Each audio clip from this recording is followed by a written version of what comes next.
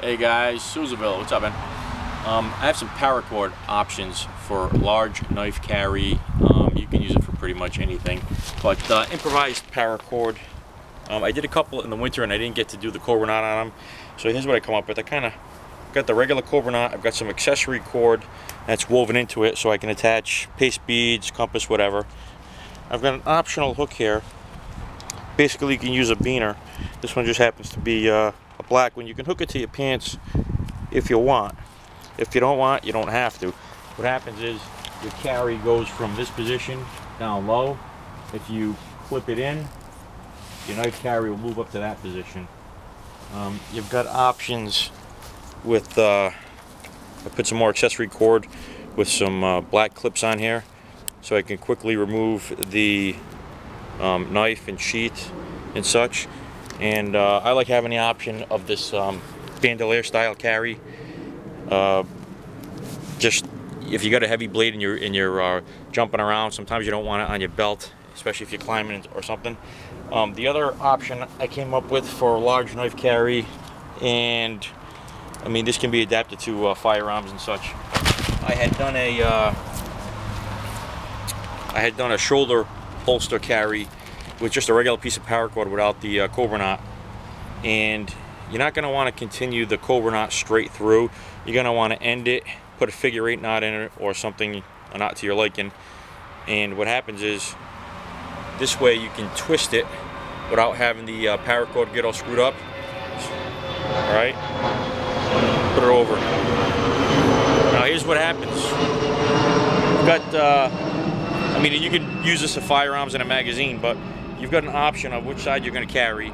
If you want to carry your knife under this position here, and I'll just use this as a quick example. I, all I did was tie a small knot on the um, on the lanyard sticking out here and reclipped it and um, kind of loop it around your belt and uh, it's a sweet carry position. I mean you've got the option of uh, having a quick draw and it's a big knife so if you're going to be carrying it um, I like this a lot of times right here is in the way for moving your legs and for and for climbing and such. And right here gives me a little more latitude. So that's what it looks like when it's in that position. And like I said um, pull this thing off and you've got a belt you've got a, a backpack straps whatever you need. So it's a good improvised uh, device. This carry is usually very comfortable especially with my BK2 I should have grabbed that one. But um, you can move this um, up into the backpack position simply by tossing it. And if you need to carry, uh, whatever, a, a, satchel or something, you've got an optional carry for back there. Also got an optional carry for cross the shoulder machete carry. Um, it's up, it's up in this position if you need it, and all the way down here, and all by just twisting it around. So, uh, thought it was a pretty neat idea, but once again, you're going to want a pivot point here. So you, you're going to um, just stretch out your paracord as if you were making a bracelet and um, wear it as a, as a shoulder harness and see what's comfortable and then build this around it.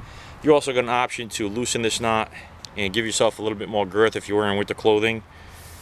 So you want to you want to kind of make it um, summer a summer length and then an additional amount so you can uh, adjust for layering. All right, guys.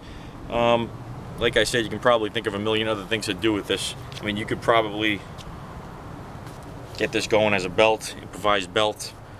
Uh, you can go again with, the with the uh, improvised uh, bandolier if necessary. So just uh, a neat idea for um, guys that are always outdoors and switching their rigs up. All right, guys, safe trails. Peace.